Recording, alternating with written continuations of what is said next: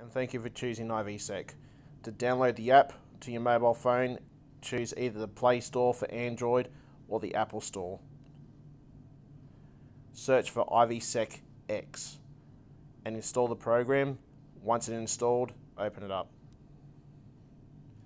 Click on the plus symbol on the top right and then IPC NVR.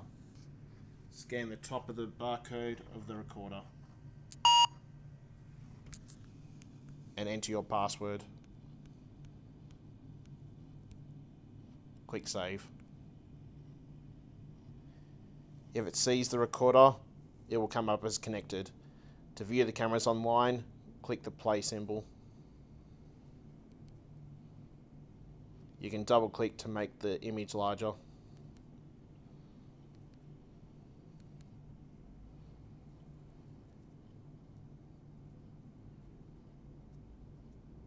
To enable notifications, click the human icon on the top left and click on notifications.